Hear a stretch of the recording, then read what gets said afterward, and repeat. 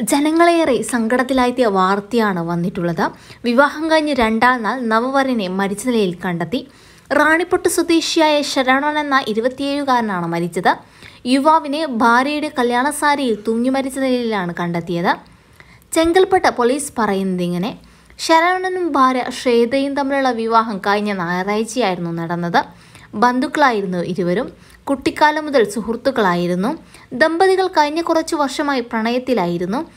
തുടർന്ന് ഇരു വീട്ടുകാരും ചേർന്നാണ് വിവാഹം അതിഗംഭീരമായി നടത്തിയത്. ചൊവ്വാഴ്ച ദമ്പതികൾ വിവാഹത്തിന് ശേഷം ആദ്യമായി ഭാര്യ വീടായ ദിമാവരത്തി എത്തി.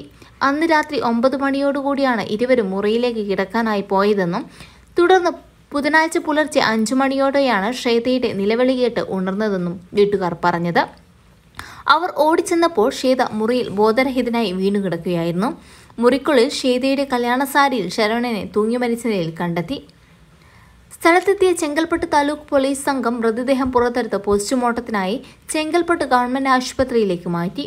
ബുധനാഴ്ച മധുവിധ ആഘോഷിക്കാനായി യാത്ര പോകാൻ തീരുമാനിച്ചതിനെക്കുറിച്ചും സന്ദർശിക്കാൻ ഉദ്ദേശിക്കുന്ന സ്ഥലത്തെക്കുറിച്ചും ചൊവ്വാഴ്ച രാത്രി ശരവണൻ മാതാപിതാക്കളുമായി ഫോണിൽ സംസാരിച്ചിരുന്നു.